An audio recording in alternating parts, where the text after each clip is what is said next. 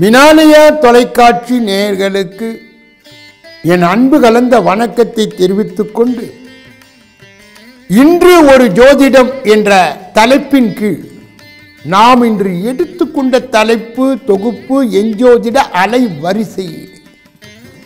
ஒவ்வொரு மாதத்திலும் ஏழு பதினாறு இருபத்தி ஐந்தில் பிறந்தவர் கேது என்ற ஒரு கிரகத்தை ஒத்தவர். இவர்களுக்கு சோதனை என்ற ஒரு வடிவம் கொடுக்கப்பட்டது. இந்த ஏழு பதினாறு இருபத்தி ஐந்திலே பிறந்தவர்களை நான் ஒரு பெரிய அளவிலே ஆராய்ச்சி செய்திருக்கின்றேன். இவர்களுடைய திருமண வாழ்க்கை தான் இவர்களுக்கு திருப்தி இல்லாமல் போய்விடுகிறது. எண்பது சதவீத அந்த ஏழாம் எண்ணை சார்ந்தவர்கள் திருமண வாழ்க்கையிலே தோற்று விடுகிறார். இது ஏன் என்று ஆராய்ச்சி செய்து பார்க்கும் பொழுது இந்த ஏழு பதினாறு இருபத்தி ஐந்திலே பிறந்தவர்களை நான் தெய்வ குழந்தைகள் என்று சொல்வேன். இவர்கள் உண்மையிலே அறிவாளிகள்.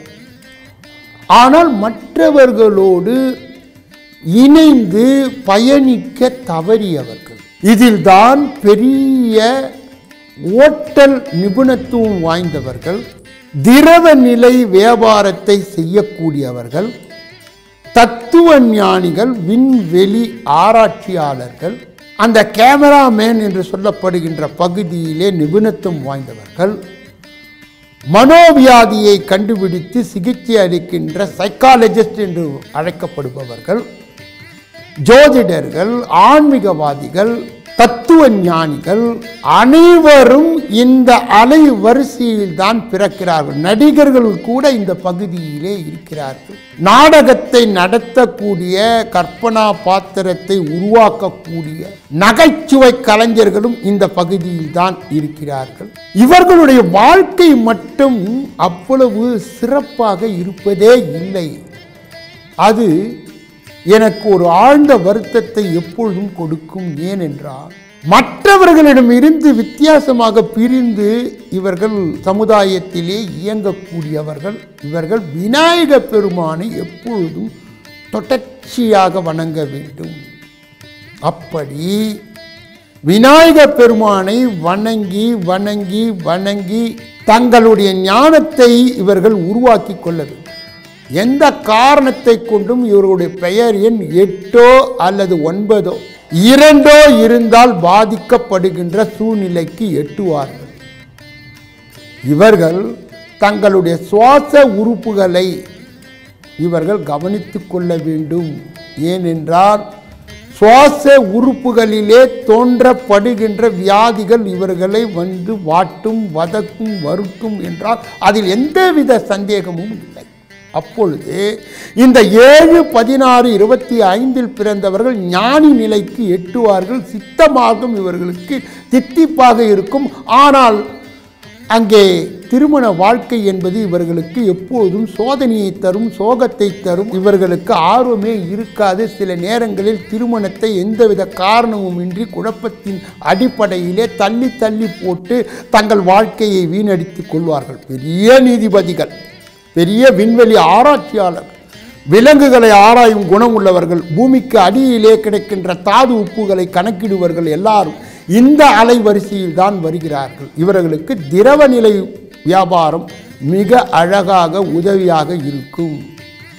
மேலும் இந்த எண்ணெய் சார்ந்தவர்கள் எப்பொழுதும் தங்களுடைய சொந்த ஜாதகத்தின் அடிப்படையிலே இவர்கள் நல்லதொரு அதஷ்டமான பெயரை அமைத்து கொண்டார். விவாகரத்து பெறுகின்ற நிலையிலிருந்து விடுதலை பெறலாம்.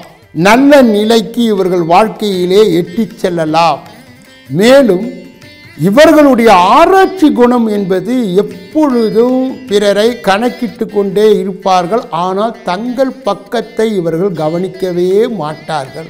அப்பொழுது ஏழு பதினாறு இருபத்தி ஐந்திலே பிறந்தவர்கள் ஒரு பல்வித வண்ணமுடைய கைகுட்டையை இவர்கள் வைத்திருக்க வேண்டும்.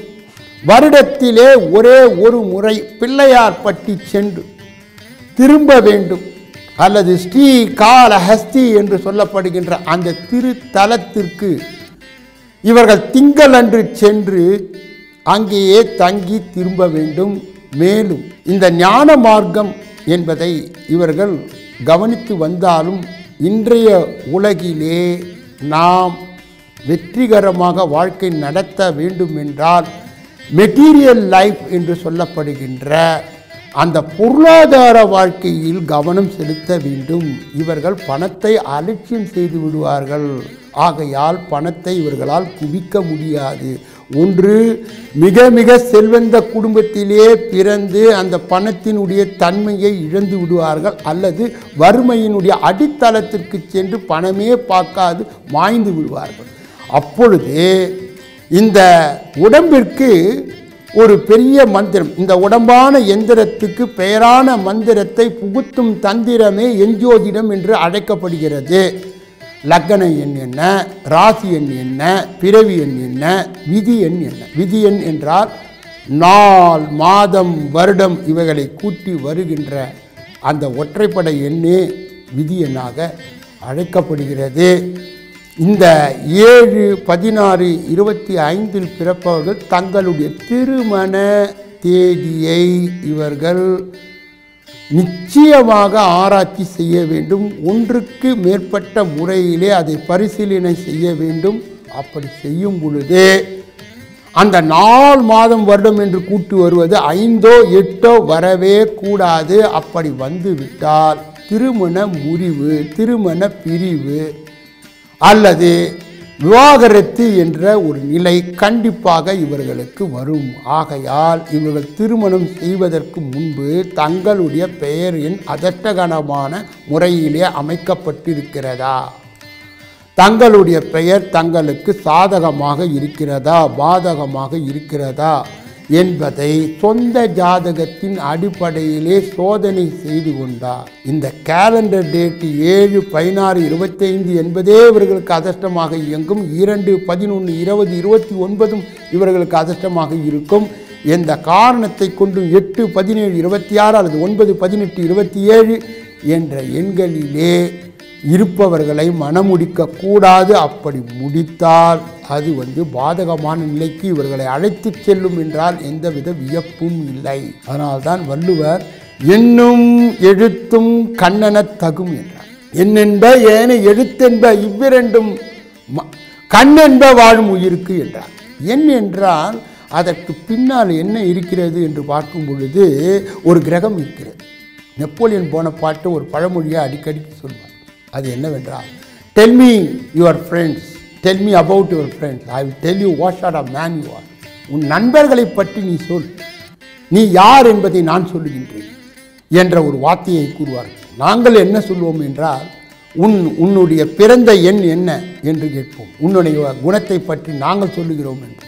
அப்படிப்பட்ட ஒரு எஞ்சோதிடம் மிக மிக அதை புரிந்து கொள்வதற்கு எளிமையானது அதே நேரத்தில் பரிகாரத்தை நம் ஜோதிடத்தின் அடிப்படையிலே செய்தால் வலிமையானது. எவ்வளவோ பெயர் மாற்றம் செய்து கொண்ட அந்த திரைப்பட கலைஞர்கள் அரசியல் நிபுணர்கள் தங்கள் வாழ்க்கையிலே உயர்ந்து இருக்கின்றார்கள் என்றால் எஞ்சோதிடத்தின் அத்தாட்சி இதுதான். அதாவது எஞ்சோதிடத்திலே இந்த நன்மை இருக்குமா என்றால் நீங்கள் எங்களை எங்களாக பார்க்கக்கூடாது அங்கே கிரகங்களாக பார்த்தால்தான் அதனுடைய தன்மை உங்களுக்கு புரிய வரும் என்று சொல்லி இந்த பகுதியை நிறைவு செய்து நாளைய தினம் உங்களுக்கு எட்டு பதினேழு இருபத்தி ஆறில் பிறந்தவர்களுடைய பலாபலன்களை நாம் விரிவாகவும் விளக்கமாகவும் பார்க்க இருக்கிறோம் என்று சொல்லி இந்த பகுதியை நிறைவு செய்து நாளைய தினம் உங்களை சந்திக்க இருக்கின்றேன். நன்றி வணக்கம்.